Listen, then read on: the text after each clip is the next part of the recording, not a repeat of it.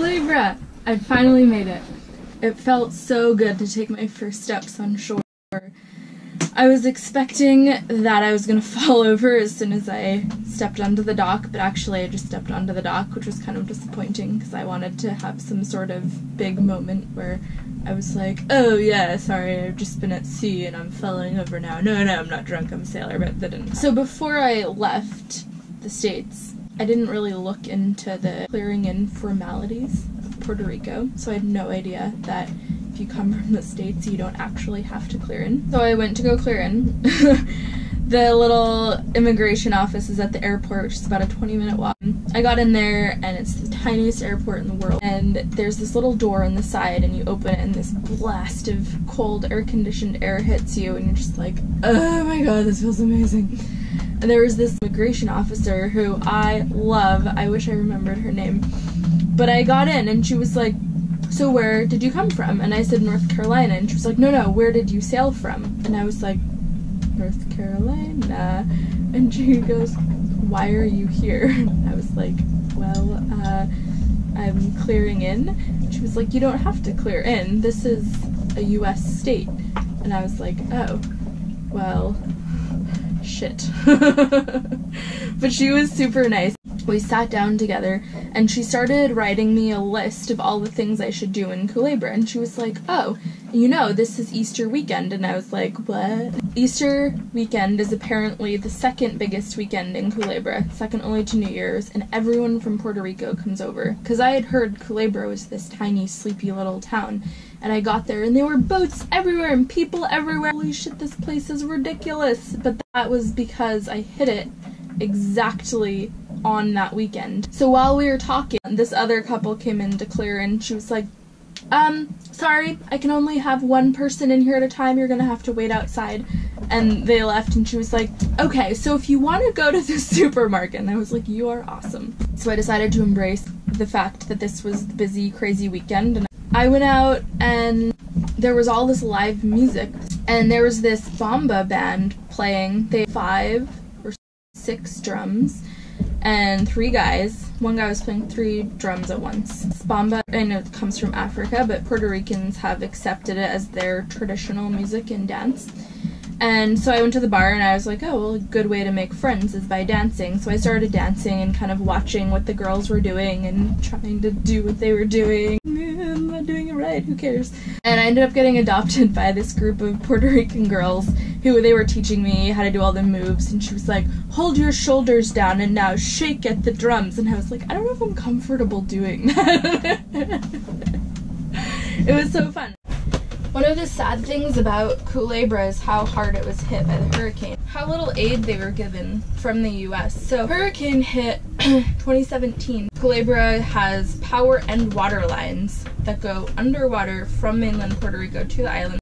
Actually walked on the beach where you can see the giant power line coming in out of the water. They had just gotten power back from the mainland three months before I arrived, which means that they were running on backup generators for over a year.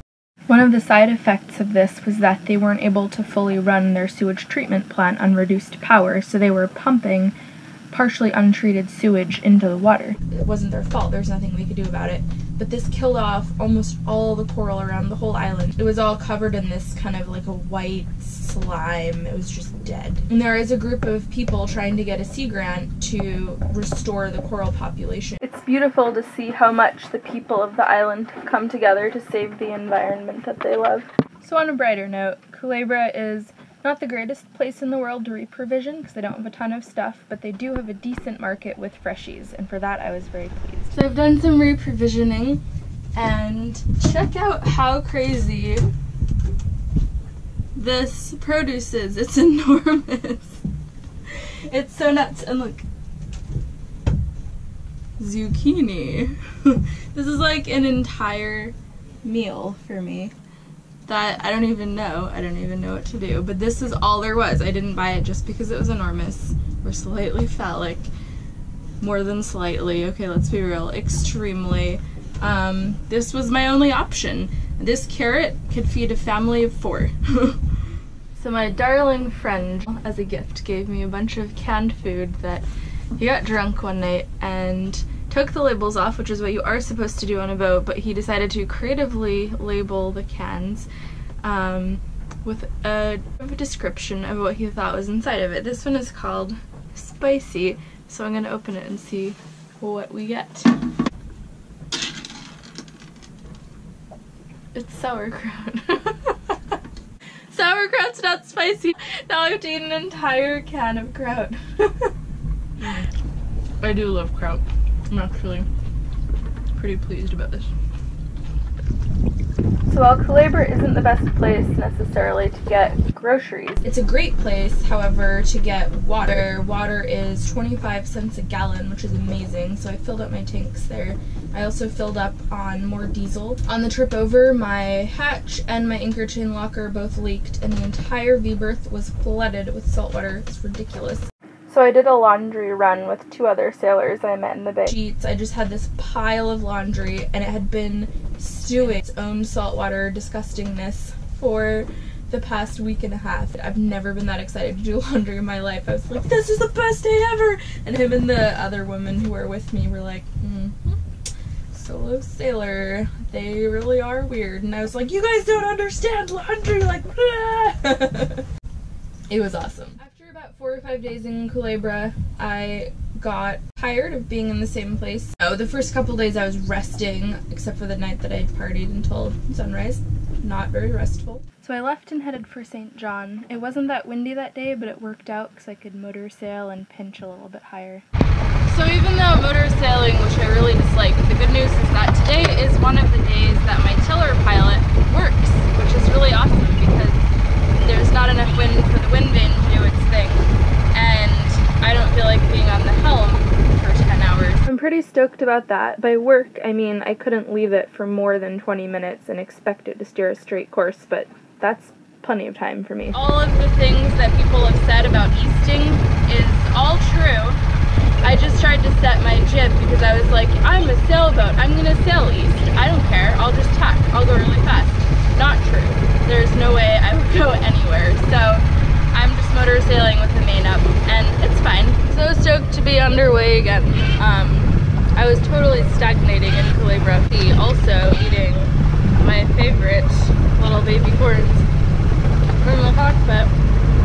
It's amazing. This is really good. I made it into Rendezvous Bay that evening, which is this absolutely beautiful, pretty much no other boats place, and I spent a couple days there. I liked it so much. It had really great snorkeling. I could just jump off my boat and swim right over to the reef. And no other boats anchored there past four o'clock. I was the only one there, so I had the sunsets and the sunrises to myself. As the sun is sinking low and the evening's tucked in tow, on the horizon, my true love I see. She ain't fancy, she ain't fine. While her fingers number only nine. She's the belle of the ball of insurgency.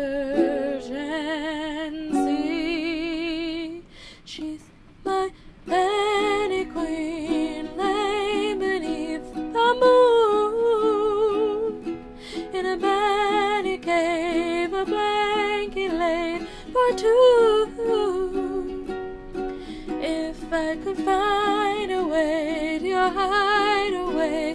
the sea, oh Penny Queen, steal away to me.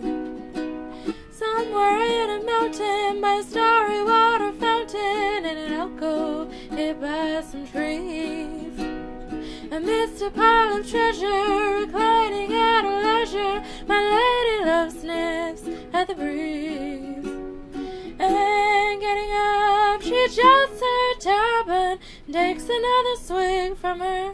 Bottle of bourbon, and listening to the whistle of a train at the station, odds are it'll never reach its destination, cause the Penny Queen astride her steed will ride. Let me be the one to lay within your thieving arms